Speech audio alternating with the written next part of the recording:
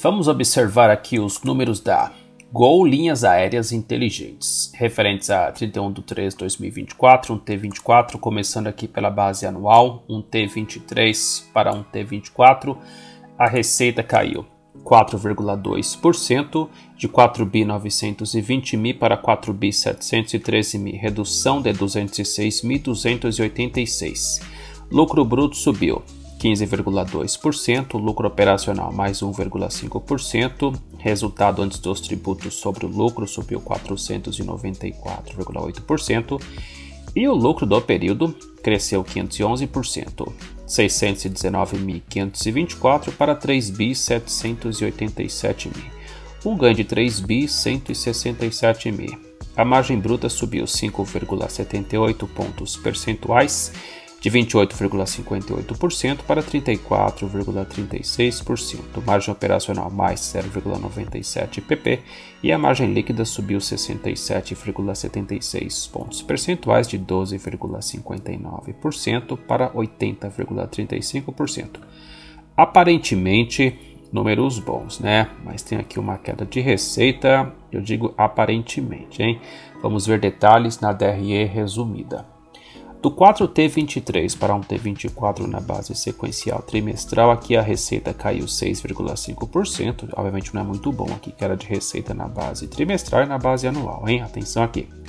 De 5 bi 042 mil para 4 bi 713 mil, redução de 328.549. Lucro bruto caiu 4,5%, lucro operacional reduziu 31,5%, saiu aqui de um prejuízo antes dos tributos para um resultado positivo aí. Vamos ver detalhes resultado financeiro. E aqui o prejuízo do 4T23 de menos 1 bi 097 mil para um lucro de 3 bi 787 mil. Sempre importante saber de onde é que veio o lucro, né? Variação aqui de 4 bi 885 mil. A margem bruta subiu 0,73 pp, margem operacional reduziu 6,25 pp e a margem líquida de menos 21,77% para 80,35%. Então aqui de negativo novamente aí, que era de receita, né? Esse lucro aí, vamos entender de onde é que veio esse lucro. Operacionalmente aí, vamos ver se melhorou. Vamos ver aqui DRE resumida, de um T23 para um T24 a receita caiu 4,2% e os custos reduziram 11,9%, ok? Queda de receita e redução de custos, ok. Com isso, fechou aqui. Resultado lucro bruto 15,2% maior, de 1 bi 406 mil para 1 bi 619 mil, um ganho de 213.296. As despesas, receitas operacionais aqui, saldo negativo de despesas, elas aumentaram 33%, de menos 609.787 para menos 811.000, um aumento de menos 201.000. Com isso, fechou o lucro operacional aqui 1,5% maior de 796.494 para 808.680 com um ganho de 12.186, ok? Então aqui o lucro vem de um resultado financeiro líquido aqui positivo num T24, ok? Então não necessariamente aí das questões operacionais, é né? muito importante observar aqui o resultado operacional antes de tudo, hein? Melhorou, porém tem muito que fazer ainda, né? Então passou aqui de um resultado de despesas financeiras de menos 159.312 para receitas financeiras de 2.981.000, variação de 3.140.000. Resultado antes dos tributos sobre o lucro positivamente aqui impactado com as receitas financeiras do T24.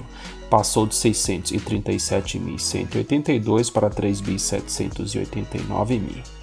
Adicionando imposto de renda e contribuição social, fechou aqui um T23 com lucro de 619.524 para 3.787.000 num T24, um crescimento de 511%.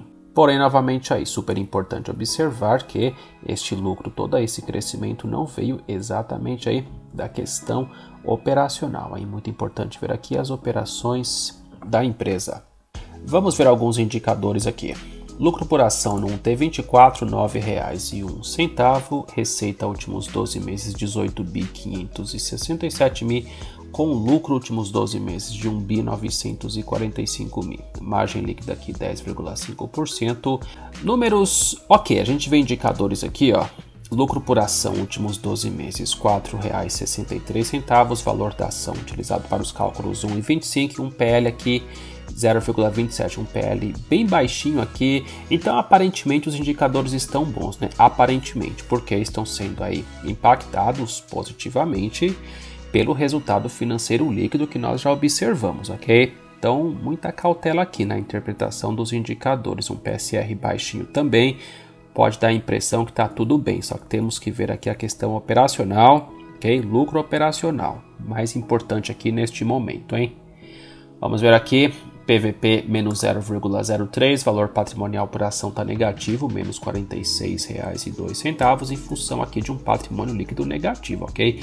Menos 19 bi 348 mil com um lucro aí positivo últimos 12 meses por questões já observadas. Então tem um retorno negativo aqui, ó, menos 10,1%. Patrimônio líquido do 4T23 para um T24, variação positiva de 3.819 bi, aqui de menos 23 bi para menos 19 bi. Capital social realizado 4T23 para um T24, leve alteração aqui, bem como o número de ações também.